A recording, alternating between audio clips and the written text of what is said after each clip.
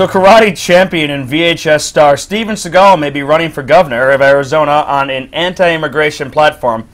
Will, what party do you think he'll run as? I assume that his career as an actor is doing so poorly at this point that, like Frankie Muniz, like uh, any number of washed up celebrities, he is now a Republican. I'm going to tell you right now that Under Siege is a masterpiece and that he saved the USS Missouri. Under Siege 2, Dark Territory, also a masterpiece.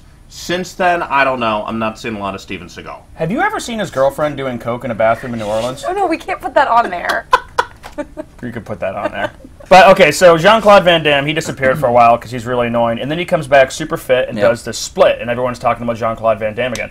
Now, isn't it true that if you're 200 pounds overweight and you can't do a split in between trucks, you might have to run for governor to come back? I I'll- mean, can we fault him for that? If he was actually in any shape at all, they would have brought him back for The Expendables, which was just a giant movie of Did retired action heroes. No, I don't think Steven Seagal was in any of those movies. you know what? That's why. That's why I skipped them. I was wondering. That specific thing, yeah. You know, Even Chuck Norris was Don't those don't films. pretend to be comprehensive when you're not. Right. You're missing someone. Speaking of missing, As, as the TV guy here, let me do the segue, okay? Speaking of missing, has Barack Obama been missing in action in Iraq? Just this past weekend, Al Qaeda linked fighters have taken the town of Fallujah.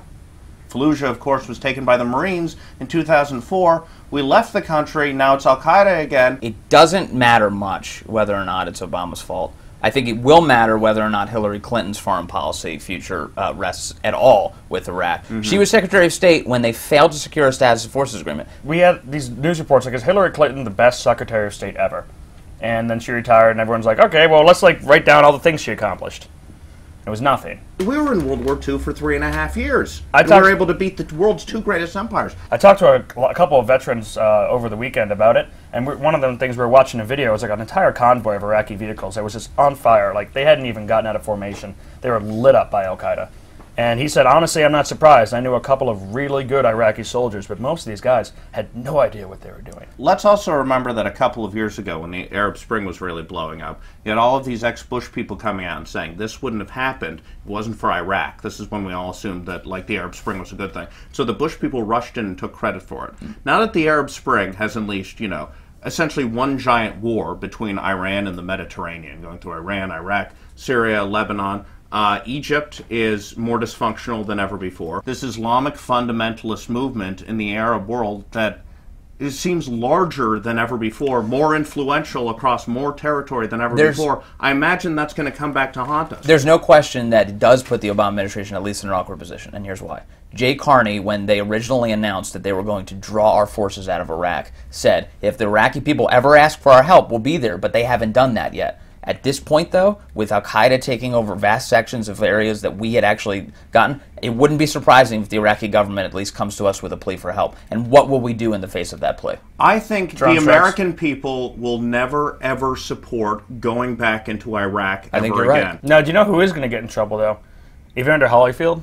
Evander Holyfield was on Big Brother UK. He was it's kind of weird scene. He's snuggling up with this cute girl who's asking him like, "Isn't it sad, Evander, that there aren't more openly gay boxers?" And he just said, "No, no, it's not, that's not normal."